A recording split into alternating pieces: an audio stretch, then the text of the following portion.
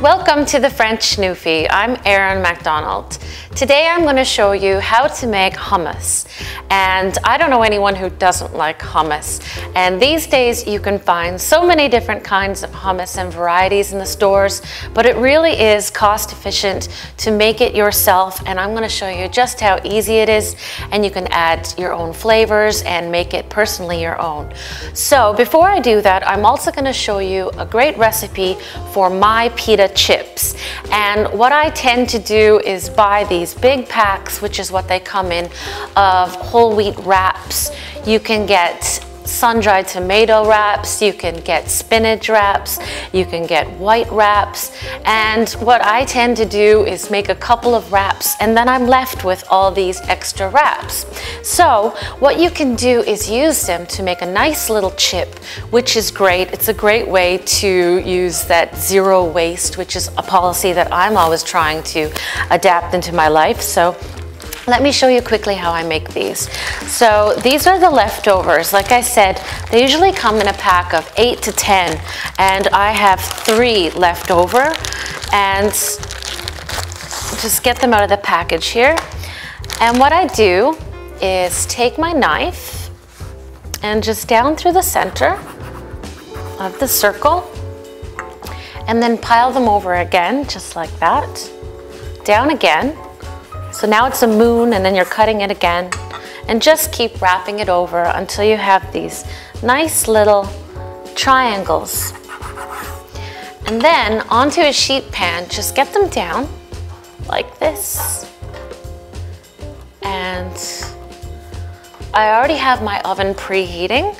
It's on 400 degrees Fahrenheit, so this is not gonna take any time while we're getting the hummus ready. When the hummus is ready, the chips are gonna be ready as well. Just get them all down. Doesn't matter if they overlap because they are gonna crisp up and shrink up just a little bit when we're done. All around the sheet pan you go, just like this. And I have a few more left over, but you get the idea. So just put these off to the side. And now what I wanna do is add some olive oil. Just sprinkle some olive oil down over the top. And I'm not using extra virgin olive oil because it's just for them to crisp in the oven. So save the good extra virgin olive oil. Just use olive oil for this one. And just scatter that down all over. Just a little bit. A little bit will go a long way and help them to brown again and crisp up. And we're gonna add a little bit of seasoning, so we wanna get a little bit of salt. Just sprinkle it down like this, grabbing onto the pita chips, grabbing on to the olive oil like that. And I also like to add a little bit of cumin. Cumin's a nice spicy flavor, and it also goes really well with the hummus. So get a little bit of that down and we're gonna get it into my preheated oven. This is gonna take no time at all. Okay, and now we're gonna move on to our hummus. And I have my blender that I absolutely love. And I have the garbanzo beans or chickpeas, which are the same thing. And what I've done is drain them, wash them and drain them and uh, just let them drain for a couple of minutes. They're packed in, I use the uh, chickpeas in water. I prefer that over the briny ones. This is gonna let me season them to my liking. So we're gonna get this down garbage and get our chickpeas into my blender. Perfect. And now, I'm gonna add a couple of other things that are very important when you're making hummus. This is tahini paste. Tahini paste is sesame, roasted sesame seeds made into a paste, which is the fat of the sesame seed and that's gonna make a real creamy and mysterious taste on this hummus. It's the familiar ingredient. So we're gonna get, I have two cans of chickpeas and we're gonna get about a quarter of a cup of tahini paste into my blender as well. So get all that goodness down just like that. Perfect. And lemon juice. You wanna squeeze the lemon juice. I always preach that. So we're gonna get some nice lemon juice down into that as well. So I have my little strainer here and it's great so you're catching the seeds. Let me get that down. Squeeze. You get to give your hand a little workout. Just get all of that juice. Don't waste any of that freshly squeezed lemon juice. Okay. Another one, I'm using one and a half lemons. I think that the lemon juice really brightens up your hummus. Some people like to use less. I like to use one and a half of this freshly squeezed lemon juice. And the last one, get that down. Perfect. Okay. Now, we have to have seasoning. You have to have salt into your hummus, which is important.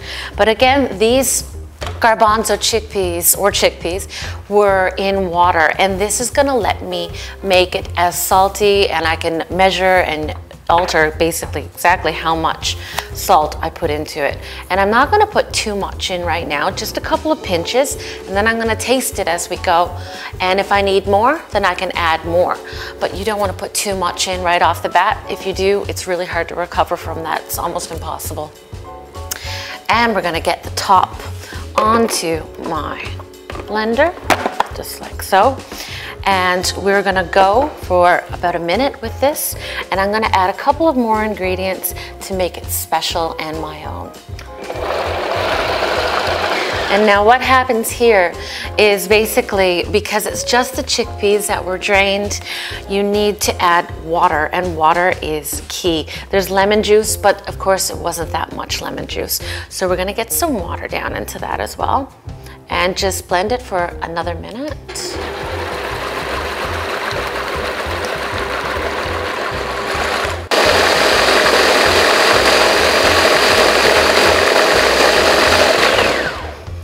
Okay, great. And now at this point, what I wanna do is add some crushed garlic. And if you don't like garlic, just leave it out. But I really enjoy the taste of garlic in my hummus. And I have one of these great little garlic presses. I don't know what I ever did before them. It makes chopping garlic so easy because it does all the work for you. So I'm just gonna squeeze that down into my blender, just like that. And I'm gonna use two garlic cloves for this recipe. So get another one down. I can smell the garlic already. It's so lovely. And get that.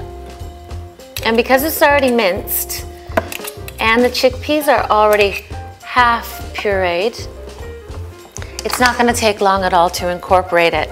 Another ingredient that I'm, i like to use, I like a lot of heat, everyone knows that.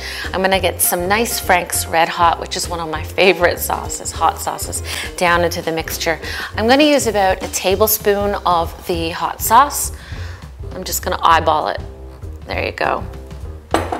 And just incorporate that for another minute and we're gonna be good to go and start to plate.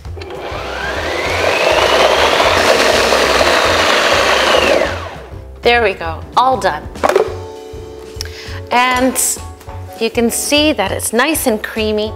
And what I wanna do at this point, just to be sure, is to give it a little taste. Make sure that the seasoning is right. It is spectacular. I can taste a little bit of that garlic. If you don't like the garlic, leave it out, but it's so delicious and there's not too much in there. I can taste the lemon juice, I can taste a little bit of that hot sauce, and of course, the chickpea. So now I'm gonna show you how to plate it. Really pretty. Just get a platter of your choice, and let me just take a quick look and see how my pita chips are doing. Oh yeah, they're toasting up really nice. They're gonna be perfect and ready to go as soon as I get this down. So I'm gonna take another spoon and just get all of my hummus down onto that plate and just take it all and spoon it down. It's so creamy and rich. And this is because we added the water and the lemon juice. And if you wanna leave it chunkier, leave it chunkier, but I think there's something really nice about a nice creamy and smooth and silky hummus. Get all of that down. Just like that. Great. And now I'm gonna just spread, and, spread it out like this. And I'm gonna show you a nice way to garnish your hummus. There we go. Great. So what I have here is some paprika. And paprika is a classic garnish for hummus. So I have a fork and I have some water.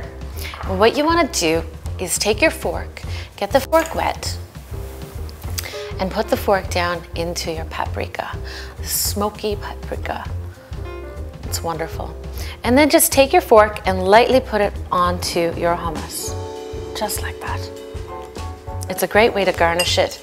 Gives it a little bit of that smoky paprika taste, just like this. Very pretty and elegant. And it's nice if you have people coming over. You have a nice way to garnish your beautiful homemade hummus that you made. Just like that. A little bit more, a couple more. And as I mentioned, what you want to do is leave the extra virgin olive oil. This is the time to break out the good stuff. So I have some really nice, authentic Tuscany cold extracted extra virgin olive oil and just take your finger. You don't want to use too much of this stuff. It's expensive. This is when you want to break out the good stuff. The color of it is a beautiful, beautiful olive green. Get that down. Beautiful and tasty. Now, I can smell those pita chips. They are ready to come out. Let me just get them. Oh yeah, oh yeah, they are brown and they are crispy and that's exactly what I wanted. As you can see, these chips are beautiful and my wraps did not go to waste, which is what I was talking about. It's a wonderful way to use what you have left over. And you can hear that on the crispiness. It's delicious. It has a little bit of salt, it has a little bit of that smoky cumin and olive oil. So just pile these around and let them cool so you don't burn your fingers. And just put them all around. Again, you have your own homemade pita chips. You have homemade hummus. You made it all yourself. And this would also be great to go as leftovers. If you want to put it in your kid's lunchbox, you could have some um, carrot sticks or crudité would be great. So there you have my homemade hummus and homemade pita chips as well. I hope that you give it a try, experiment in the kitchen and make the hummus your own. Enjoy.